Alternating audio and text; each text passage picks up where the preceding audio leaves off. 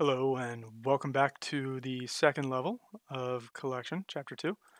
Uh, so let's pick up where we left off last time. So we already know there were some things we could improve with our bots.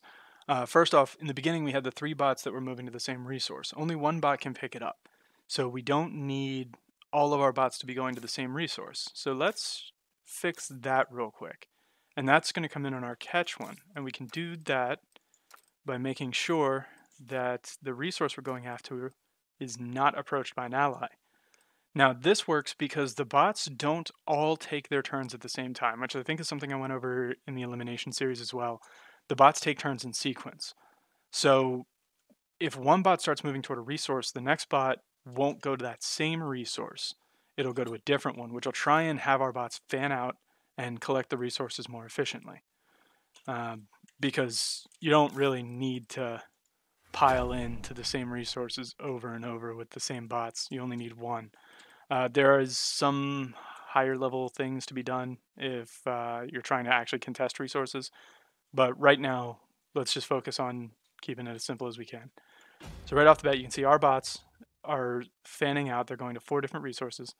Now the enemy bots, you can see their assaults are going toward one resource, but their sniper and their machine gun are actually moving toward our bots.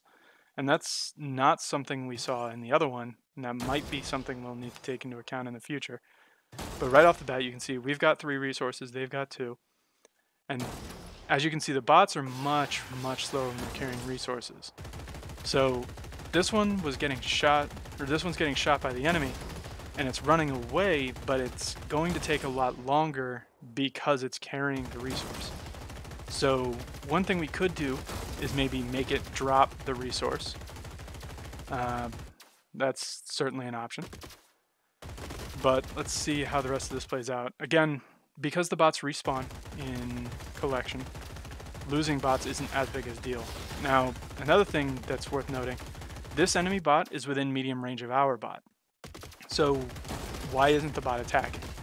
And the, re the reason for that is that the game automatically ignores any nodes that it can't do. And in this case, if it's carrying a resource, it can't attack. So we, uh, we're basically skipping our attack section when we're carrying a resource.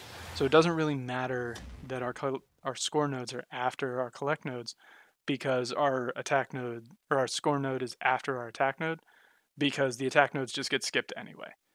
But that's level two. Um, we're off to a really strong start. Let's uh, keep it going and see how we do.